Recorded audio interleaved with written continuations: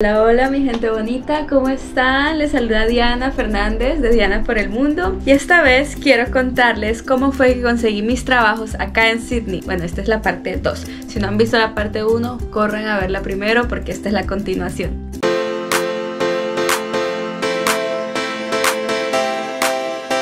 No sé si se acuerda de mi video pasado, en tiempos de COVID yo estaba trabajando en un café donde me explotaban y me pagaban 17 la hora. Luego que pasó el COVID y abrieron todos los lugares, pues me dediqué a buscar un mejor trabajo y le pedí a Diosito un trabajo donde encontrar unos buenos jefes. Y la verdad es que me lo di. Sin embargo, este nuevo trabajo donde yo era barista, solo me daban como tres días a la semana y eran muy pocas horas. Entonces me dediqué a buscar un segundo trabajo, que esto es muy común aquí en Australia, que uno tenga dos o hasta tres trabajos. Conseguí este trabajo como barista y luego conseguí un trabajo de mesera, bartender en la noche en un restaurante que era fusión francés y japonés.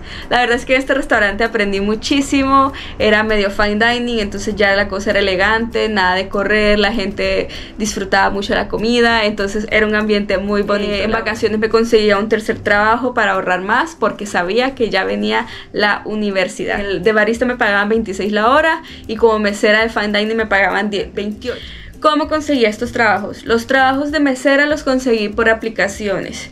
Está Llora Local, está Gumtree, está Sick Indeed, que estos últimos dos son más para profesionales creo, pero consigues de todo. En Llora Local sí es donde conseguí los de mesera fijo. Creo que esa es la aplicación que más me sirvió. Eh, también hay agencias de cleaning que yo pude haber aplicado, pero la verdad es que no, no, me gusta el cleaning.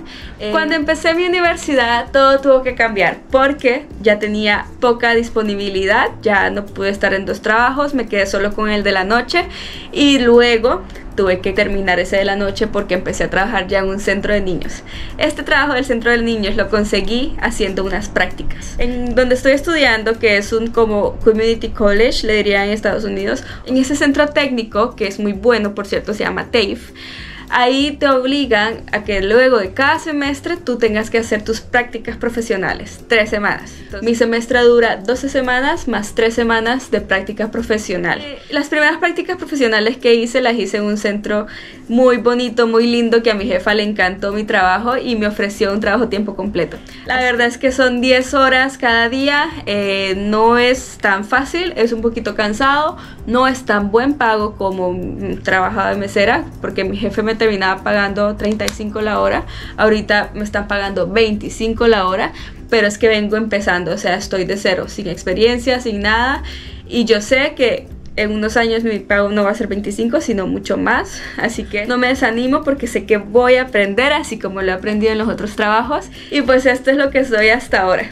ya les he dicho cómo he conseguido cada trabajo. También hay que tomar en cuenta que en tiempos de COVID toda la situación cambió. Cuando yo vine en 2018, vine en temporada baja, no estaban contratando, había mucha gente aquí, o sea, ya había mucha gente con mucha experiencia y venían más.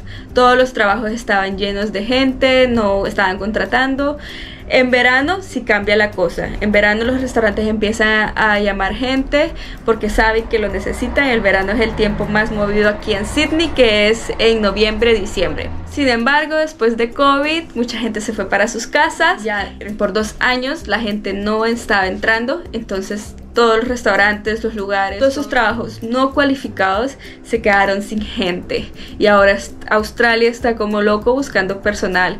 Y lo digo por experiencia propia, porque en todos los trabajos que he trabajado me han dicho si conozco gente, eh, en el café donde trabajaba, en el de la noche, incluso en el centro de niños donde estoy trabajando, necesitan gente. El gobierno australiano también lanzó un programa de que quiere ayudar a los residentes permanentes y a los de australianos a estudiar para ser educadores de niños y les que hasta les va a pagar como para incentivarlos a que estudien eso y trabajen en child care centers porque no hay gente. Eh, los estudiantes teníamos restricciones de, trabajar solo 20 horas a la semana y ahora hace como un año y medio o dos años el gobierno abrió para que los estudiantes trabajáramos tiempo completo sin restricciones.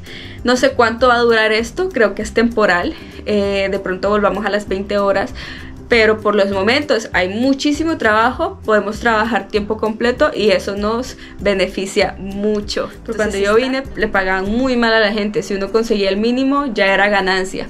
Ahora uno puede negociar su salario eh, dependiendo de su experiencia, incluso si no tienes experiencia hay gente que miente y consigue unos buenos sueldos.